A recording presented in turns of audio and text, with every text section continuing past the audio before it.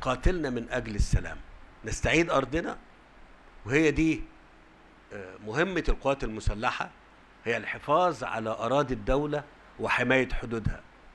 وده أمر أتصور إن هو من أفضل وأشرف المهام اللي بتقوم بها أي قوة أو قوات عسكرية لأي دولة إنها تحمي بلادها وتحمي حدودها.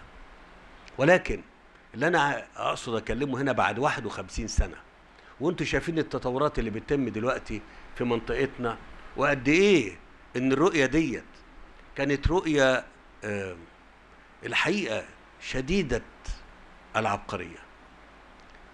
وما تحقق فيها بيؤكد بيؤكدوا دلوقتي الآن إن كان كان كان سبق للعصر وتحقق لمصر السلام وبقى السلام من الوقت دوت وحتى الآن هو خيار استراتيجي للدولة المصرية.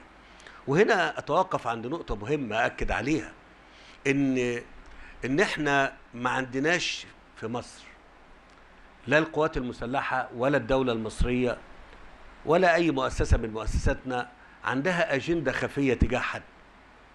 إحنا دايما زي ما اتقال كده من آه، من زملائنا اللي تحدثوا قبل مني إن الحرب هي استثناء. الحرب هي استثناء لكن الحالة العامة هو السلام والاستقرار والبناء والتنمية. وأتصور إن إحنا خلال ال 51 سنة دول كان في اختبار حقيقي لإرادة مصر في الحفاظ على السلام كاستراتيجية هي تبنتها وحماية حدودها وأرضها. عشان كده النهارده بعد بعد المدة الطويلة ديت اللي بتصور إن إحنا كلنا المفروض نتوقف جميعا أمام الحالة ديت الحالة المصرية ديت والقاده اللي كانوا موجودين في الفترة ديت سواء كانوا عندنا أو حتى كانوا في إسرائيل.